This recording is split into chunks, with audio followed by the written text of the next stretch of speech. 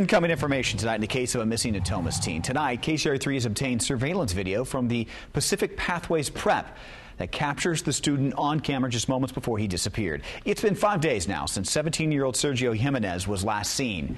In this surveillance video, you can see him walk down a pathway, stop, and then turn around and continue in a different direction. It was right after school got out on the day of Wednesday. Sergio's cousin, Marissa, told investigators the reason Sergio turned around was to talk to her at a nearby picnic table.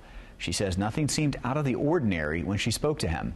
Police are now in the process of gathering, gathering surveillance video from the area businesses as well in hopes of determining where Sergio went after he spoke to his cousin. Jimenez is described as 5 foot 4, 145 pounds. He was last seen wearing a gray and blue sweater and black jeans like in that video. He also is wearing glasses.